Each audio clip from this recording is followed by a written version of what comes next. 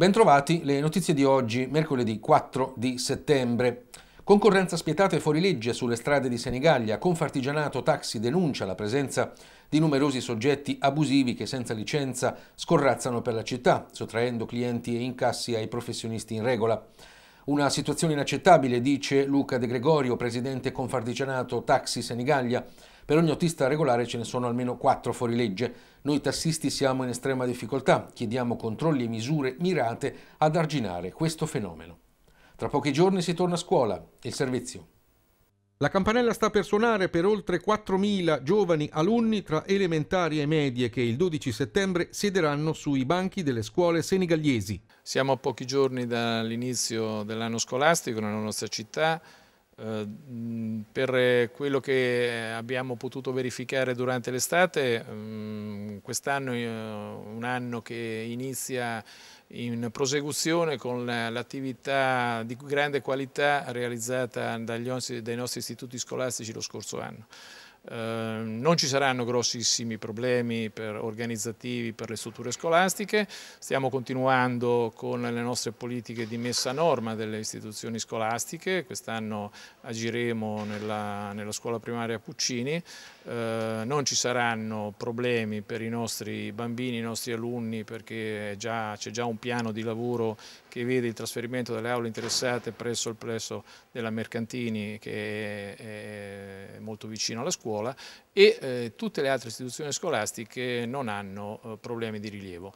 Eh, realizzeremo nei prossimi giorni una conferenza eh, appunto per comunicare anche i dati numerici dell'anno scolastico, ma siamo mh, tranquilli e siamo anche coscienti e consapevoli che Senigallia, anche per quanto riguarda il suo aspetto didattico e la qualità della didattica, è una città eh, appunto eh, di qualità e così vogliamo che continui a essere. Per cui un impegno dell'amministrazione per eh, monitorare, sviluppare tutto ciò che mantiene questa qualità fondamentale per il futuro dei nostri, dei nostri figli. Lavoro e famiglia, questo è il tema di un seminario del Movimento Cristiano Lavoratori MCL che si terrà a Senigallia dal 5 al 7 settembre in preparazione della 47esima settimana sociale dei cattolici italiani a Torino. La mancanza di lavoro getta un'ombra di incertezza sulla vita familiare, rendendo impossibili decisioni a medio e lungo termine, ha ricordato il presidente di MCL Carlo Costalli.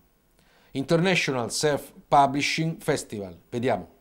È stato presentato l'evento International Self Publishing Festival che si svolgerà al Foro Annonario di Senigallia il 19 e 20 ottobre prossimi. Si tratta di un evento organizzato da Narcissus.me, la piattaforma di autopubblicazione digitale di Simplicissimus Book Farm.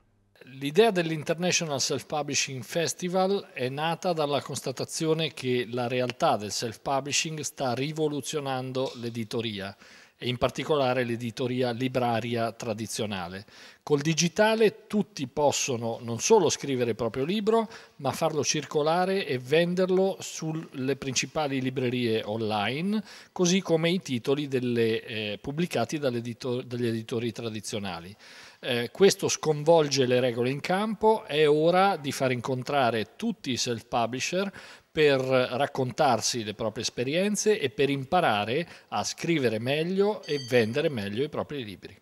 Giovani atleti continuano a crescere nella scuola Guenci che in pochi anni ha vinto titoli italiani, europei e mondiali, il giovanissimo Filippo Moroni da poco uscito dalla convalescenza, rientra in gara e vince subito nei 200 metri a Narni, gara valevole per la classifica Challenge Italia, mentre la sua compagna di squadra, già vincitrice Asia Luciani, si deve accontentare questa volta del terzo posto. Tra il tennis tavolo Senigallia e il Conservatorio Rossini di Pesaro sta per nascere una collaborazione scientifica. È stato Enzo Pettinelli a darne la notizia. L'idea di fondo, se trovasse riscontro, sarebbe innovatrice perché ipotizza che un colpo eseguito correttamente determina un suono di un certo tipo. Quindi lo scostamento tra il suono prodotto da un colpo e il suo riferimento indicherebbe la correttezza o meno dell'esecuzione, dando un parametro quantificabile all'allenatore e sono 11 tante le edizioni per la Notte dello Sport, evento che rappresenta lo sport senegalese, un'importante tradizione, una vera e propria vetrina per le associazioni sportive cittadine e che andrà in scena dal pomeriggio alla sera venerdì 6 settembre. Ancora una volta lo scenario della Kermesse sarà il foro annonario dove dalle 18.30 a tarda sera saliranno in passerella centinaia di atleti e dirigenti sportivi in rappresentanza delle 36 società presenti all'evento. È tutto, Grazie per averci seguito, vi aspetto per l'edizione di domani.